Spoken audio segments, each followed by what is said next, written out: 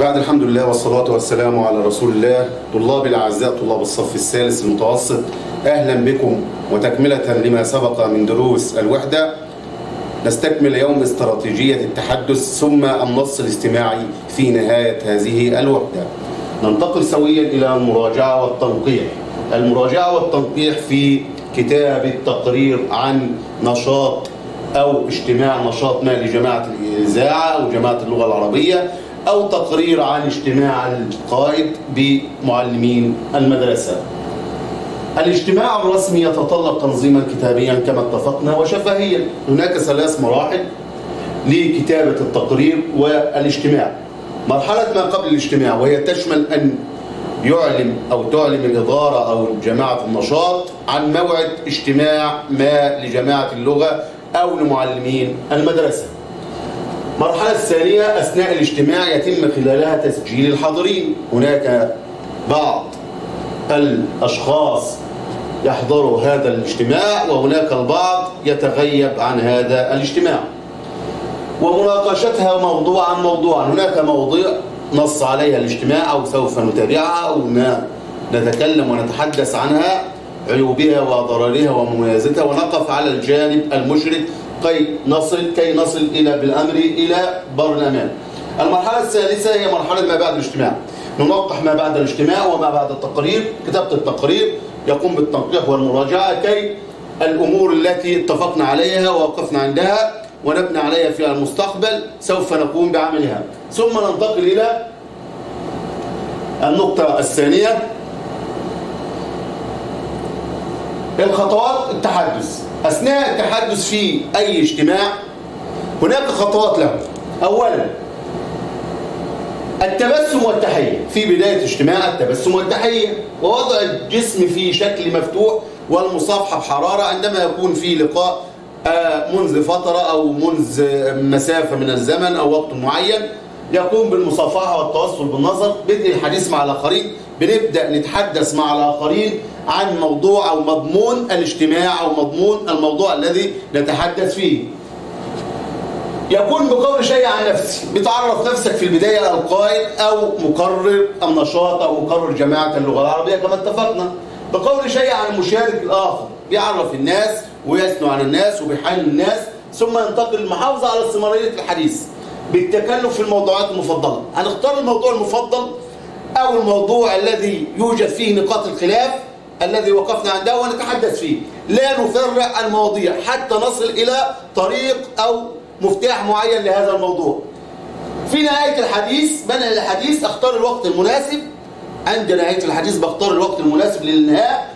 وأعطي إشارات للتمهيد لإنهاء الحديث في هذا الاجتماع.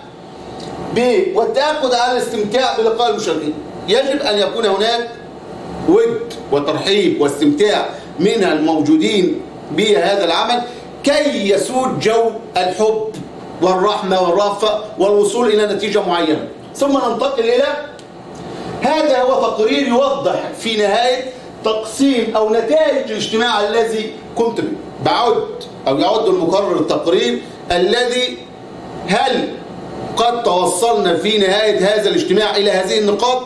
أولا التبسم والتحية. هنقول ممتاز مثلا. كان هناك تبسم وتحية الاتصال بالنظر مع المشاركين. نقول مثلا جيد جدا. الإيماء جيد. بدء المشاركة ممتاز. طرح سؤال. ممتاز. مثلا احترام رغبة الآخرين. كان جيد جدا. هناك رغبة للآخرين. تسليم الدور من متحدث لآخر كان ممتاز. القدرة على تغيير الموضوع. أنا أقول يعني جيد. اختيار الوقت المناسب لإنهاء الحديث يجب أن يكون هنا ممتاز. اختار الوقت المعين أو الوقت المناسب لإنهاء الحديث في هذا الاجتماع. ثم ننتقل إلى مغزى أو عنوان درس اليوم وهو النص الاستماعي قراءة واستماع. العالم الإلكتروني. هذا هو الثورة المعلوماتية تتحدث عن العالم الإلكتروني. ما هذه الحمى؟ ما سر الحروف؟ التراصل الإلكتروني التجارة الإلكترونية الأعمال الإلكترونية الحكومة الإلكترونية التعليم الإلكتروني التدريب الإلكتروني نرى أن العنوان واحد. هو التركيز على الإلكترونيات. النشر الإلكتروني الدليل الإلكتروني. ولكن هذا يجب لا أن يكون له ضوابط شرعية كما نص الدين والشرع كي نتحكم في هذه الثورة أو الثروة الإلكترونية. أينما اتجهت سمة حواسيب ووسائل الاتصال وأجهزة نعرف شيئا منها وكثير لا نعرف. هناك أشياء كثيرة نعرفها. عن الثورة وهناك أشياء لا نعلمها. إنها في الحقيقة واسطة نشاط في العصر الإلكتروني. إنها أدوات اقتصادية المعرفة. هي فتحت بين المجتمعات المعرفة والطلاقة والفكر والحديث والترابط والتواصل في وقت قصير في وقت موجز. ورأس المال الفكري. إنها وسائل رأس مال هي وسائل رأس مال للفرد وللمجتمع.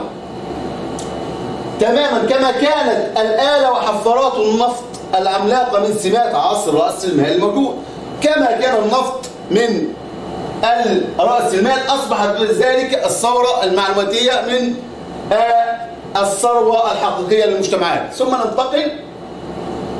هذا كمالة النص اقرأ النص. وننتقل إلى آخر صورة في النص كمل النص مع نفسك؟ ما هي أهمية العالم الإلكترونية في حياتنا؟ إيه الأهمية؟ أهمية العالم الإلكتروني في حياتك. هي تواصل بين الأفراد والشعوب والمجتمعات. ولكن هناك ما هي الضوابط الشرعية للعالم الإلكتروني؟ يجب أن يكون هناك ضوابط شرعية كما اتفقنا. نرى في الصورة هنا اجتماع ملخص لنهاية هذه الاستراتيجية وهي الرسم أو التحدث القائد معه بعض المعلمين يتحدثون عن الثورة أو الثروة المعلوماتية التي في عصرنا هذا وينتقلوا إلى إدارة حديث شيق وممتع كي يتوصلوا في النهاية إلى الأمور المتفق عليها.